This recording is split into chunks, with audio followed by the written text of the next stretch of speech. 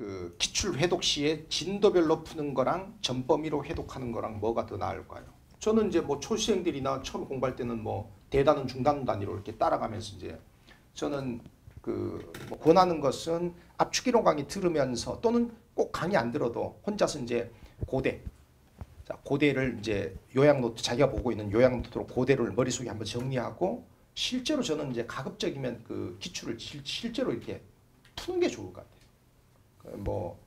그런 점에서 이제 요즘에 그 PDF 파일 어, 그 우리 메가에서 그 나온 그 뭐지 이북 이북처럼 이렇게 해갖고 거기다가 실제로 풀고 채점하고 저는 그런 것도 저라면 진짜 저는 그냥 종이에다 풀어요. 뭐 그렇게 이제 실제로 좀 풀고 채점하고 그렇게 하는 게 좋을 것 같아요. 그다음에 이제 그리고 이제 그 중세 고려 갔으면 이제 고려 정치를 머릿속에 좀 쫙 한번 정리 좀 하고 그다음 실제로 문제 풀고 채점하고 틀린 게 왜 틀렸는지 리뷰하고 이런 식으로 이제 대단 중단원 단위로 이- 이동하는 게 어, 맞지 않을까 싶고